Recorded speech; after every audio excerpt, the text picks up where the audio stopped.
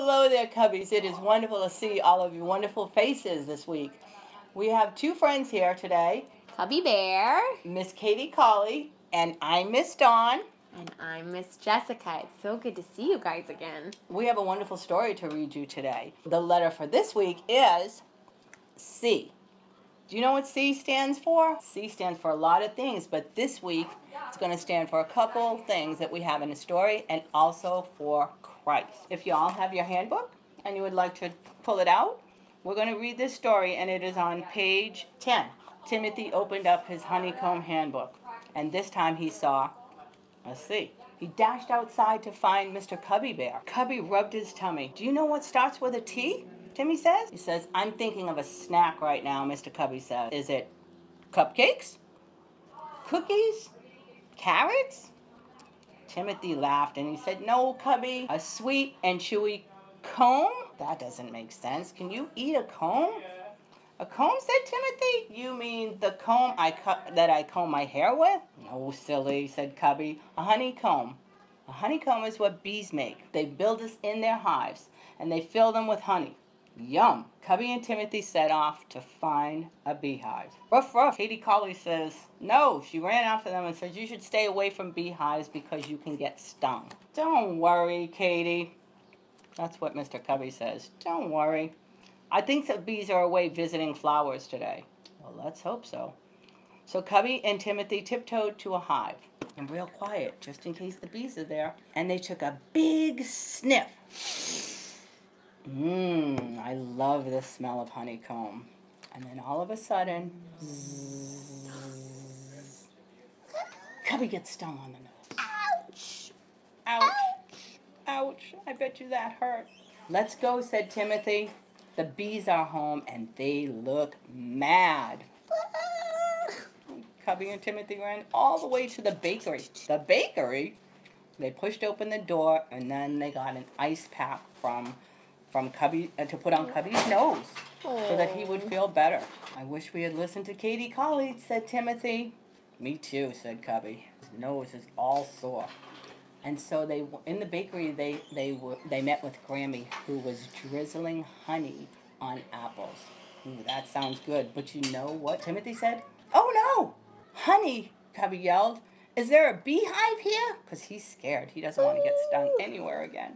And Timothy laughed and said, No, Grammy gets the honey from a jar. Much easier that way. I know something else that starts with a C. Do y'all know? Cubby.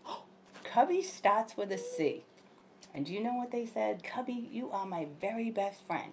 Even though we get in trouble sometimes, you are still my best friend. And they smiled and they ran off and popped some more of those yummy apples into their mouth. Yummy, yummy, Okay. yummy. Oh my See you goodness. later, Miss Collie and Mr. Cubby. Bye, Collie and Cubby. I hope you all enjoyed that story. And now we're going to hear from Miss Jessica. She's going to tell a beautiful story from her Bible. And it Yeah. begins with a C as well. Jesus is alive. Jesus is alive. I will clap my hands and sing that Jesus is alive. Katie Collie loves Cubby Bear so much, you guys, even though Cubby Bear did not listen to her when she said, Dawn't go to the beehive. You guys have lots of people who love you too. Do you know who loves you all the time? Can you guys think of anyone? Like maybe your parents? Or your grandparents? Your or your friends? brothers or your sisters? Well, guess what? Don and I know someone who loves you even more than any of those people or more than anyone else in the whole world. Do you know who it is? Ding ding. guess it it's is? Christ. It's Christ Jesus loves us all the time. He loves us all the time and he loves us more than anybody. So we are going to learn more about his love in our very special book. Do you guys remember what this special book is called? Bible. And in the Bible, God tells us about his love for us and his stories in the Bible are real and true. And so we are going to learn a verse from the Bible, one that we learned last week in Romans 3:23. And you guys see the letter right here on this on this card? A is for all. All have sinned. Does anybody remember what sin is? It is anything we think, say, or do that disobeys God. And we've all done things that disobey God. And so last week we learned that A is for all, all have sinned. But guess what? God's story doesn't stop there. He said, because we all have sinned, and we all deserve to be punished by God. What does being punished mean? That's another big word. Being punished is when we get in big, big trouble because of bad things that we do. And you guys, the punishment for sin is death. But God loves us so, so very much. He chose to do something about that so that we didn't have to die. He said, I'm going to send my son Jesus, my very own son. And I'm going to send my son Jesus, and this is Jesus being born. Can you guys think about when we celebrate Jesus being born? On Christmas. Isn't that cool? So God sent his son Jesus, and Jesus lived a life.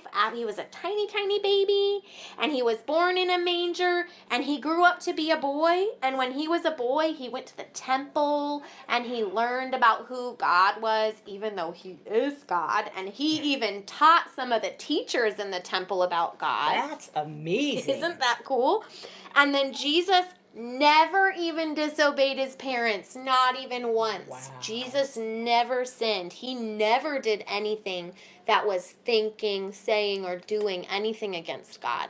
And so he grew up all the way into a man and he showed love to all people oldest grandmas and mommies and daddies and tiniest babies and he was so happy to have children It with was him. amazing, Jessica. He was so cool. And do you guys know what he actually did? He sent his son, God sent his son Jesus to die on the cross for our sins. So he got punished for all of our sins so that we didn't have to be punished. Can you guys see this cross right here? It kind of looks like a T.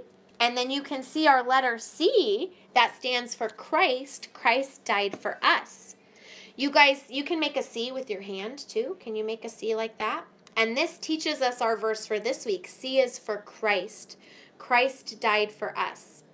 After Jesus died, you guys, his friends put his body in a tomb that was like a cave. I don't know if we have that here. And he rose again on the third day. Can you do that with me? One, two, three.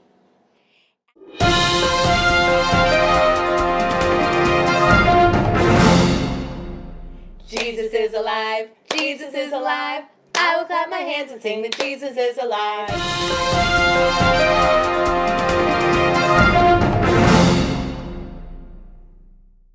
And I am so glad that that was not the end of our story, that he rose again. And guess what? After he rose again, he even appeared to some of his friends. And in this pictures, you can see him showing his hands where he had nails from the cross in. And he is alive.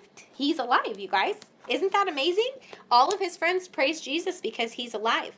And soon after being alive, it was time for him to go back up to his Father in heaven. And he promised to come back and take us to heaven one day too. So we are going to love and serve Jesus while we're here on earth and continue to love and serve him one day in heaven. Isn't that amazing? This is a wonderful story. And you guys, this is a wonderful, beautiful story of Christ's love for us. And if it's a kind of a hard story, there's some hard things in here. So if you guys have any questions for your parents or for Miss Jessica and Miss Dawn, we're happy to talk to you about this wonderful story, okay? So we're going to say our verse one more time. C, is, for Christ. Christ died for us. Romans 5 8. So ready? C is, C is for for Christ. Christ died for us. Romans Romans 5 5, 8. 8. And you guys, we are getting so excited to see you again next time. And we hope you work very hard on your verses. We can't wait to hear them out loud. But please don't forget that you can talk to your parents or Miss Dawn about any questions you have about this story, okay? Have a song we want to share with you about Jesus raising from the dead. So remember how we told you Jesus died on the cross and then he was buried in a tomb for one, two, three days and then he rose again. He's alive. So we're going to teach you a song about Jesus being alive. So you got to have your clapping hands with us, okay? Are you ready? One, two, three. Jesus is alive. Jesus is alive. I will clap my hands and sing that Jesus is alive. Are you guys ready for one more try? Let's do Okay, it. Ready? One, two, three. Jesus is alive. Jesus is alive. I will clap my hands and sing that Jesus is alive. Yay, Callies! Thank you so much. So we can't wait to see you next week. Next week is what theme, Miss Dawn? it is Avengers theme. Oh, so you guys can dress up like a superhero. We can't wait to see your superhero costumes. Love you guys, Cubby. Bears. See y'all later. Bye.